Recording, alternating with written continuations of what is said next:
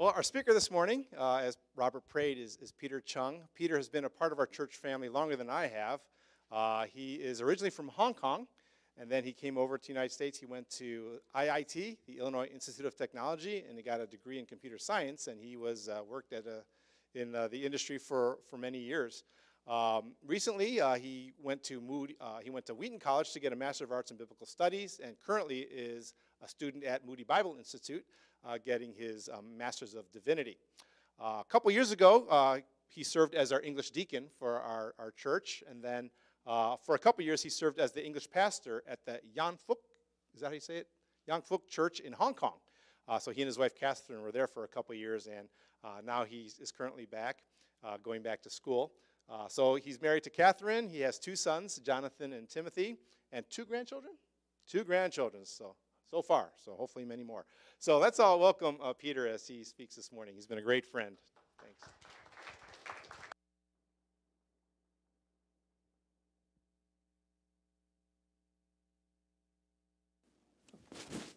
Okay, I'm on. Okay. Well, thank you, Pastor Barry. Thank you so much for your intro. And uh, really a great opportunity uh, to speak to you, uh, to preach the word this morning. Um, let's bow our head and pray. Heavenly Father, we come before you this morning. Uh, thank you for this opportunity to worship you together. Father, um, we just uh, know that this morning we worship you and you alone. And Father, we just submit all our burdens, our worries, our anxieties at your feet. And Father, we lay it before your throne and ask that we be focused on worshiping you that the one that is upon the throne, uh, you yourself. And Father, we pray and ask all this in the name of Jesus Christ. Amen. So, um, after almost two years of uh, pandemics, and many of us, uh, me included, uh, might feel exhausted and uh, from just dealing with this constantly uh, with no end in sight. In other words, you know, we face the pandemic every day. And because also the pandemic, some of us actually put our plans on, on hold. I have a, I know a couple uh, that uh, is in Hong Kong. They actually put off their wedding for two times. And then uh, so it's just before uh, from the scheduled date to the date they actually get married is actually uh, one year later. And even at that point of wedding, they actually have to have their wedding online. And so that was a long time ago. And so now we also have to wait uh, for this particular time to go over, right? Well, we want to wait for the green light so that uh, we can free, be feel free to uh, move again without concerns for virus and quarantines. And so especially during this time of the year, we wanted to see our friends and family. And so some of you may have already a lot of plans in place. Uh, so uh, mapped out on what you want to do and actually uh, what, where to go. And also basically ready to launch out when all the condition is a little bit more favorable. And so today, um, in our passage today, there was some different kind of launch that took place about 2,000 years ago uh, with, uh, around the Christmas time this year. And so after 400 years plus since Malachi prophesied uh, in the Old Testament, God broke his silence. Uh, he was ready to launch his plan of salvation in the New Testament. Now, he was, uh, the announcement of the birth of Jesus Christ marks as the single most important event that fulfills God's promise of the Messiah to deliver his people. But the announcement of Jesus Christ, Jesus' birth, was not the first event that occurred after God broke the silence. The launch event broke the silence uh, that began the saga of salvation is the conception, is the conception of John the Baptist. Now, to do that, God chose an elderly couple uh, to kick off this critical phase. Now, you may ask, why not a young couple full of energy, full of vitality? I mean, what criteria did God use for his choice? And where the fanfare for this significant event, and why is it so low key? So, the, coming back to the theology of it, the theological truth of this passage actually demonstrates God's sovereignty and his mighty power. Uh, God exercises sovereignty over history and also over nature to achieve his goals. Now, he did not uh, do so to test he did so to testify his faithfulness and in fulfilling his covenant promises. But as a narrative, this passage gives us an example uh, of the relationship between God the Father and his beloved children. Now, what quality was God looking for in his servant, especially when an important milestone event was depending on it. And how should you respond to God, uh, to call to surface when you're being called upon? So in today's message, uh, we can learn lessons from the story of Zechariah and Elizabeth. Uh, on, the, on the display there is today's uh, sermon outline. Uh, we can see the big, idea, the big idea that we have is that God is at work in our lives in concert with kingdom plan. Now we read uh, verse 5 to 7 earlier. So moving on to that, to that verse. About a few months ago, when we go to Hong Kong, uh, uh, we, there was no tenant living in our house. It was vacant for quite a few months. But after we, after we, uh, this person learned about of our situation, uh, he, a brother from our former church, or from, a, from a former small group, volunteered to, to stop by occasionally and regularly for three months or a few months to check up on the condition of the house. Now, he, was, he, he did it in such a way that he actually came by with a spreadsheet. Okay, and with his spreadsheet, he kept track of all the inspection points and record all the action taken, if any. And, he, and for, uh, for the, the few months that he was there, he did it uh, voluntarily, without anything in return, without expecting anything in, in return. And so we are grateful and really admire his faithfulness. Now, faithfulness was demonstrated by Zechariah and, and uh, Elizabeth. Luke, Luke uses the first three verses of the passage to introduce Zechariah and his wife Elizabeth. Uh, Luke gave us some background about the couple and tell us about their characters. Uh, Zechariah is a common name in the Old Testament. Uh, the name means God remembers in Hebrew. And there is also a prophet named Zechariah that has an Old Testament book that named after him. Also, Zechariah was your typical priest. Uh, there was nothing else mentioned about his priesthood. He was not outstanding. I mean, he was not famous, and he was just average. Uh, his wife's name Elizabeth means God is faithful, uh, which was also the name of Aaron's wife, the brother of Moses.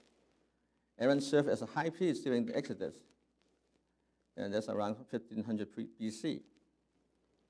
There were 24 divisions of priests in total, and each division serves two weeks per year uh, at the temple. The rest of the time, Zechariah just stays home in his village Uh, to teach scriptures and counsel people. Zechariah and Elizabeth were a regular couple who were living their common life in the land of Judea. They they, they are similar to, into society, they are similar to people who grew up in a strong Christian home. Verse 6 said, verse 6 said they were both righteous before God, walking blamelessly in all the commandments and statutes of the law. Now, the Luke, that Luke said, was saying is that they are both righteous before God. But the phrase before God can be interpreted as in the sight of God, or God is the judge. Okay?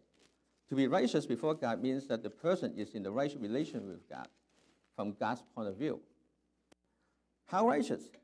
Well, the answer is found in the second half of the verse. Walking blamelessly in all the commandments and the stature of the Lord. The NIV says, translation says, observing all the Lord's commands and decree blamelessly. Now, so also Luke was saying that it was God who counted Zechariah and Elizabeth as righteous. Zechariah understood this, that righteousness cannot be earned. He had studied the scripture and knew about the covenant God made with the people of Israel. Right? They were all instituted by God's grace, and he knew that Abraham was counted righteous by God because he believed. And that was even before the Mosaic law was ex- existed. Psalm 119 1 says, Blessed are those whose way is blameless, who walk in the law of the law.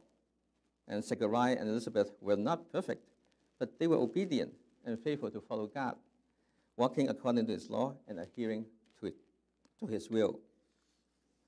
Also, verse 7 says, But they had no child, because Elizabeth was barren, and both were advanced in years. Well, walking by faith in God does not mean that your, your life will be trouble free. The thought of no child would have been quite frightening for the couple. uh, they, were quite, they were quite old, they were advanced in years, and the hope of producing biological child had come and gone.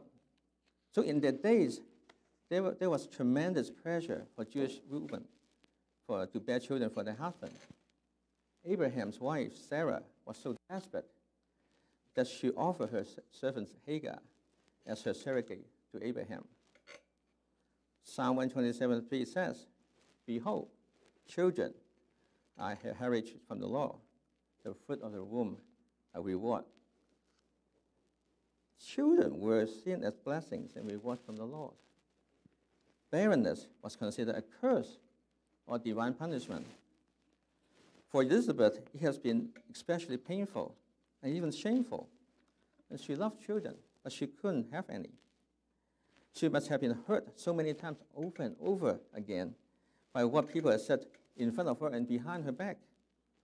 They would say, well, she was a sinner because she was accursed by God, and that God has withheld the blessing of children from the family because of her. It's like stabbing her heart with a dagger repeatedly, adding insult to injury. It sometimes is something that she has endured in her entire life, actually entire married life. But we can sense how much that the barrenness has been a, diff, a heavy burden on her heart. In verse 25, when she finally learned that she was pregnant, she said, God has shown her favor and take away my disgrace among the people. The original word for disgrace can also mean reproach, rebuke, and disapproval. She was taken it so, so hard that it really, when the community gossiped about her and sometimes outright accused her, Zechariah knew the, the social stigma and had been praying for her, uh, her, on her behalf for a long time and for many years. Incidentally, the matriarchs of Genesis, Sarah, Rebecca, and Rachel, are all barren until God opened their wombs. God is the one upholding his covenant with Abraham and carry out the promise to his, to his descendants. As an important note to point out, their righteousness was granted by God. I mean, if it were up to man's righteousness, the couple could have been considered too old, too slow, too outdated, too religious, and too stale to be of use for anything else except for retirement. So yet God sees them as precious vessels. Their faith did not waver throughout their time of difficulty. They were not bitter. They, were not, they did not blame God for their faith, and nor did they turn their back to Him. Instead, they acknowledged the sovereignty of God over them and remained persistent, loyal, and steadfast. Child or no child, their allegiance was immovable. Well, from the book, from the book of First John, uh, of the last sermon series, chapter 5, verses 3 to 4, it says, For this is the love of God, that we keep his commandment, and his commandments are not burdensome. For everyone who has been born of God overcome the world, and this is the victory that has overcome the world, our faith. Uh, Zechariah and Elizabeth delight in obeying, in obeying, in obeying, obeying God's commandments because that's the weapon they use to have victory over their difficult circumstances. Their faithfulness is the outward expression of them abiding in faith. So God will use our brokenness and complete reliance on Him for His glory. And God is also at work in our lives, as he, and He remembers our struggles. We must keep on abiding and walk in the faith. Moving on to verse 8 to 17, and let me read it.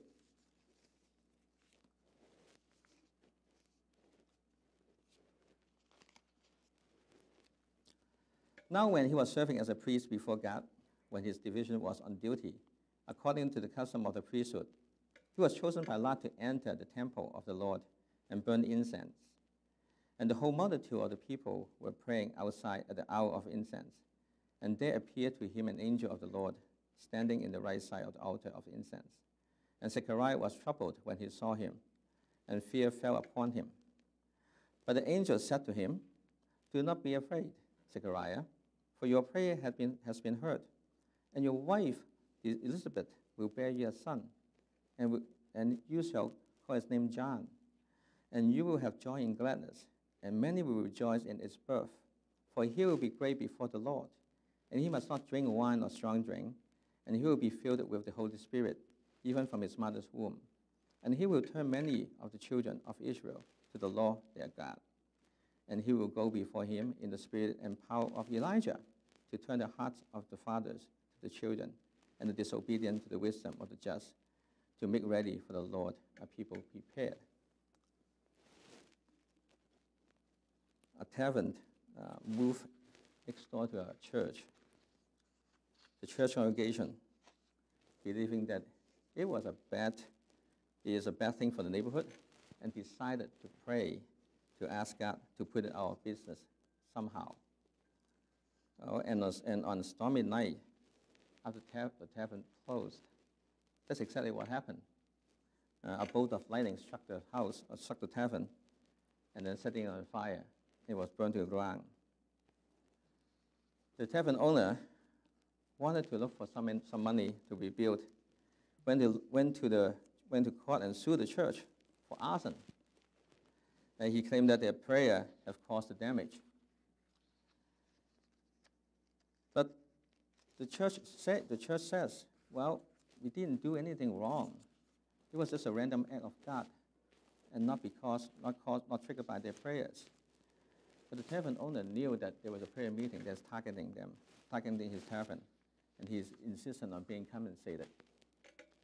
Well, it is evident that in this case, the non-believer has more faith in God answering prayers than the believer do. This is kind of funny, but sadly true sometimes.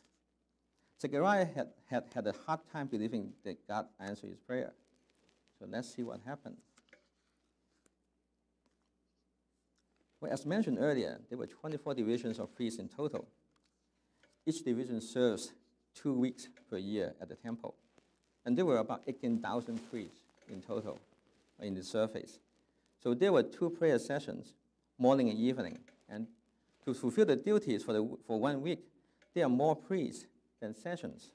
And so they draw by lots uh, for the privilege to go into the temple. Zechariah was chosen by Lot to enter the temple of the Lord and burn incense. The altar of incense was just outside the veil that separates the holy of holy place and the holy of holies, as you can see on the picture. And this was the place where he saw the angel of the Lord. Zechariah was troubled, and fear has already set in before the angel, before him, before the angel even said a word. And the original word for trouble means stirred up, agitated, disturbed, emotion, uh, disturbed and emotional, unstable, the NIV translation said uh, Zechariah was startled and gripped with fear. But we should cut Zechariah some ch chase or some slack here. Uh, we, who could imagine seeing an angel in, this, in his days? Well, God had been silent for 400 years. So the suspense alone was consuming him. And the angel Gabriel realized his condition and assured him. And in verse 13, he said, do not be afraid, Zechariah, for your prayer has been heard, and your wife Elizabeth will bear you a son, and you shall call his name John. Do not be afraid is an imperative in the original text. It means do not run away because of fear, and do not be scared away. So Gabriel made it, made it clear there was nothing to fear. But the angel is calming him down for, about, for what he's about to tell him, because what he has been praying for after all these years was about to come true. Gabriel told him that God had heard his prayer, and his wife will, hear, will bear him a son, and his name will be John. What does the name John mean? Well, it means Yahweh has been gracious. God is gracious. How appropriate. The baby is a favor from God. The favor was not only destined for his household alone, it's extended to his countrymen, the Jewish people, and to all the nations. The angel says John would possess the same spirit and power that Elijah had, What was he referring to? Well, when King Ahab and his queen Jezebel made Baal worship the official religion of Israel, the prophet Elijah led the people back to God by destroying all the prophets of Baal on Mount Carmel. As the forerunner of Messiah, John will be the prophet of God in the same spirit and power of Elijah, and he will be the one who bear witness about Jesus as the Christ. John the Apostle wrote about John, wrote about John the Baptist in his introduction leading up to the birth of Jesus Christ. John chapter 1, verse 6 to 8 says, There was a man sent from God whose name was John. He came as a witness to bear witness about the Lord, the light, and all might believe through him. He was not the light, but came to bear witness about the light. John will be the one who to prepare the way for the arrival of Jesus Christ, their promised Messiah. What a privilege. But why would Zechariah have a hard time accepting an answer, an answer prayer? I mean, he only have been praying for what, how long? Well, for probably 50 years for this to happen, or at least for as long he, he and Elizabeth had been married. And all these times, there was no sign from God, no sign of pregnancy, not even a false alarm. And now all of a sudden, it was answered in full. Bam, just like that. This, this was an, an, an expected grace.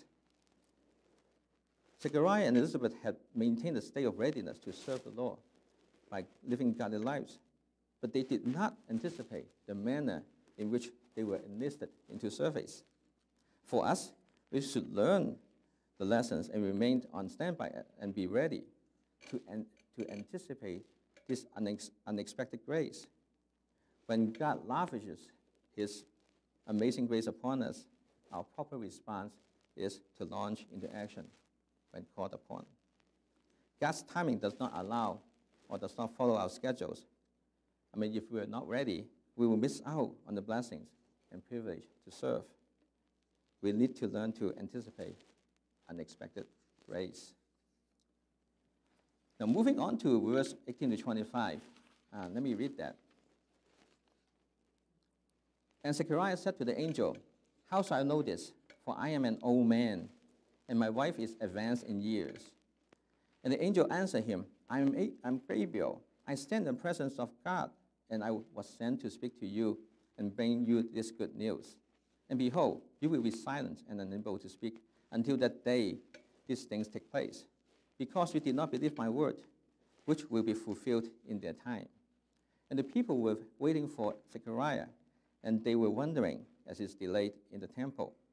And when he came out, he was unable to speak to them, and they realized that he had seen a vision in the temple. And he kept making signs to them and remained mute. And when his time of service was ended, he went to his home.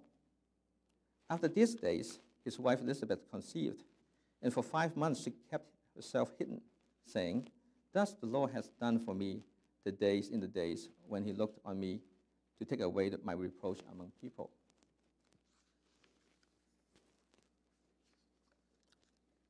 Have you ever come across something that's too good to be true? A cheap Rolex watch, that's an oxymoron, right? Uh, a brand new iPhone uh, of the latest model at half price, uh, an investment that guarantees to double your money. Uh, how many times have we heard on the news that someone has been scammed? Oh, here's some common wisdom floating around on the, on the internet about this topic. It says, well, if it's too good to be true, something's wrong. If it's too good to be true, it usually is. Uh, you know that it's too good to be true when your dreams start turning into reality. And that seems to be the case of Zechariah. Verse 18, first, verse 18 tells us that Zechariah had a hard time believing the angel because it sounded too good to be true. He reacted by saying, and I paraphrase, Are you kidding me?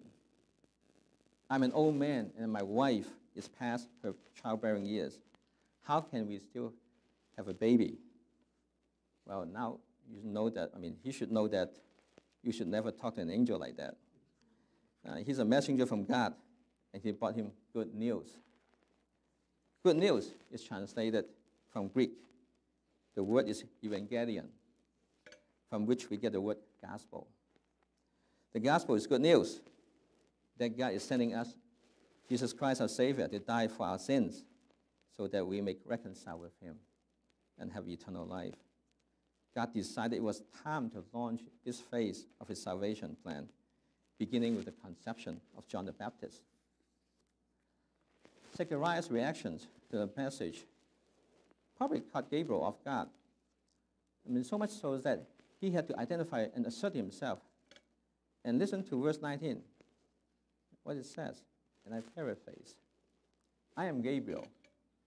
I was serving in the presence of God when he dispatched me to send you this good news.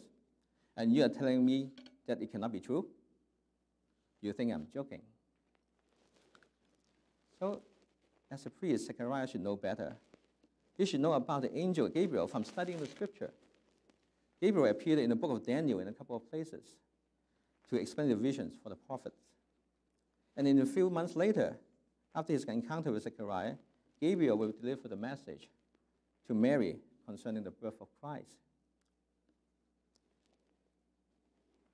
As a result of Zechariah's incredulity, God took away his speech and hearing temporarily. Some of you may ask, why was God so harsh to Zechariah? I mean, couldn't you even ask the questions when you're in doubt? Well, having doubts is different from questioning God's sovereignty and attacking his character.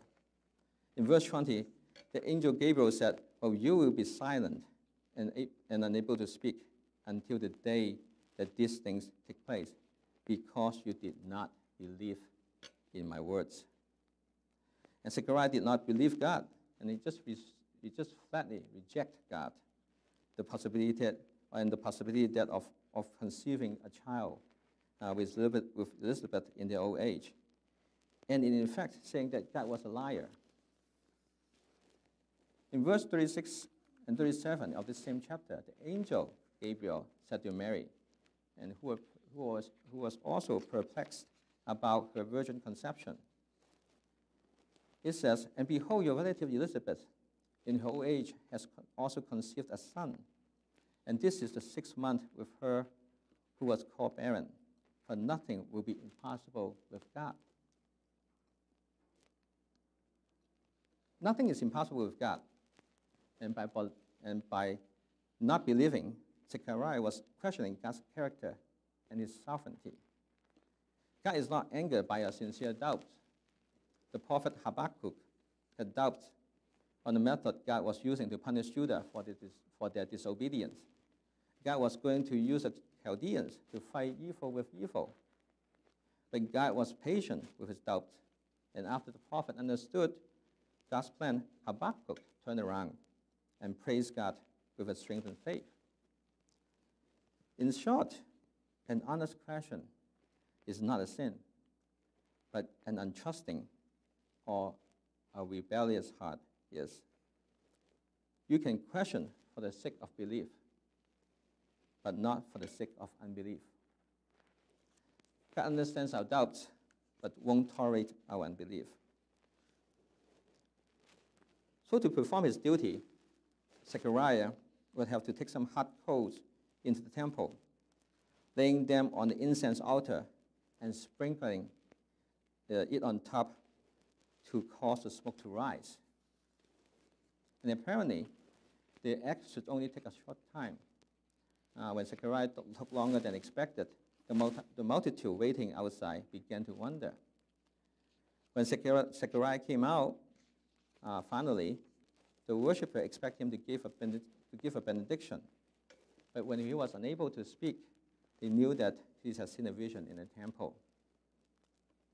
So Zechariah went home after completing the week of temple duty by his division, and his wife Elizabeth had been waiting for him at home, and she conceived a, son soon after.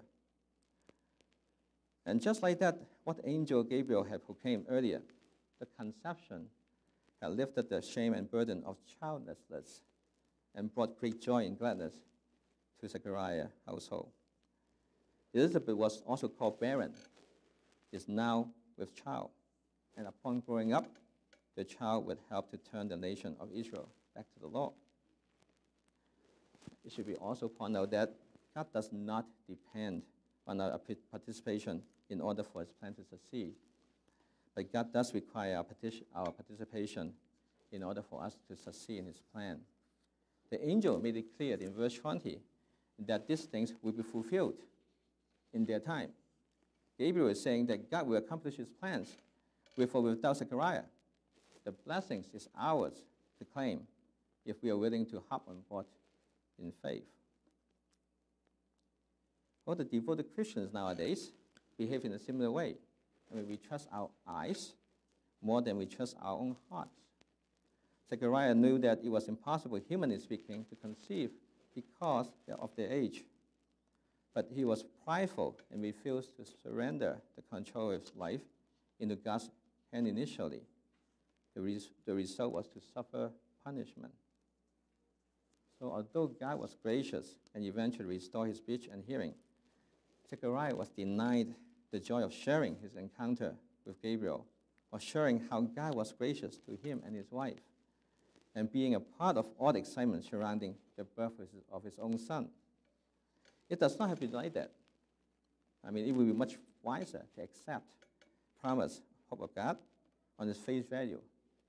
yield to Him and trust Him to be in the driver's seat of your life.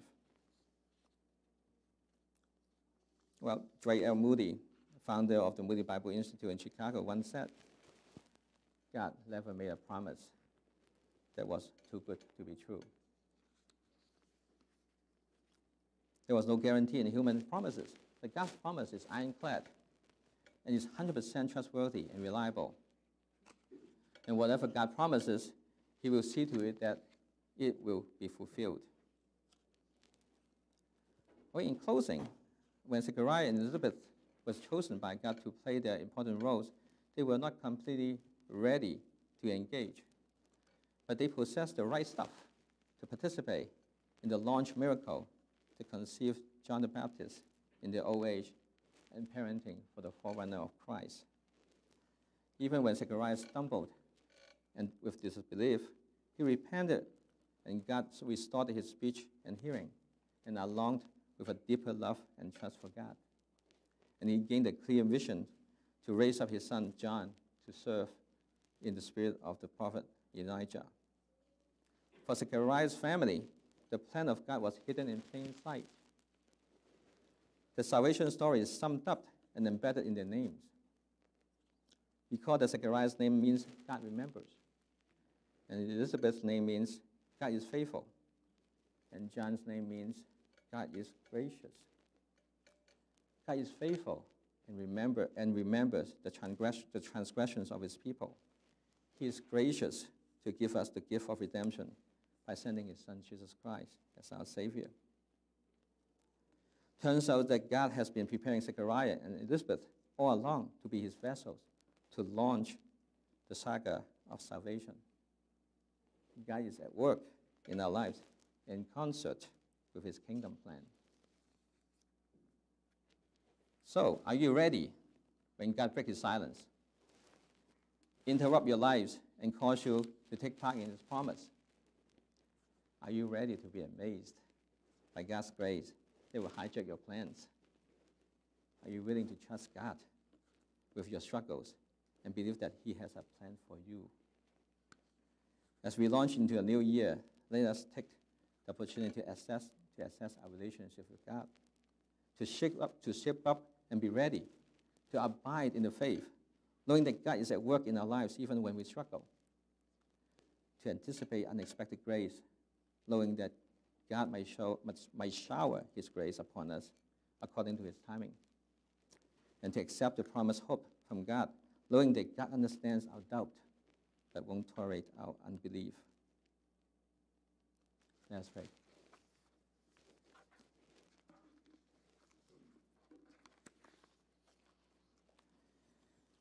Dear Heavenly Father, we give thanks for all that you have done and is doing in our lives. In this Christmas season, we are once again reminded of your precious gift to us, the Lord our Savior. Help us to submit to your Lordship. Cleanse us from what is dishonorable to become vessels for your honorable use, set apart as holy, ready for every good work. Grant us the sensitivity to hear your calls and respond in delight to serve, for you are worthy. In Jesus' name we pray. Amen.